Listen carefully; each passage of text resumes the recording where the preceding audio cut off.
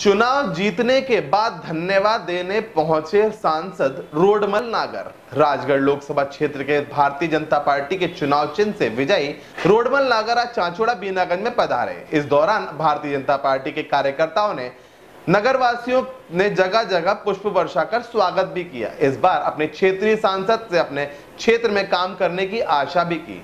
चाचोड़ा से ground reporter Shivam Namdev की report.